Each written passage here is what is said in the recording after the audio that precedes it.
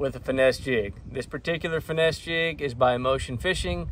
I love this jig. So what's what makes it finesse? First of all, it's 5 16 ounce. It's really lightweight. Uh, you can go up to 7 16 ounce, but this is a 5 16 ounce. And you notice how they got the skirt trimmed.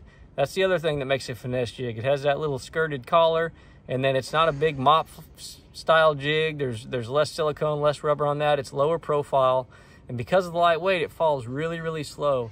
And slow falling baits this time of year, I think catch a lot of big fish. They can't stand it. There's something about it just slow falling. They have to eat it.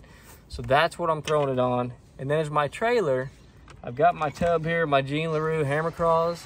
I love these. They got a lot of cool colors.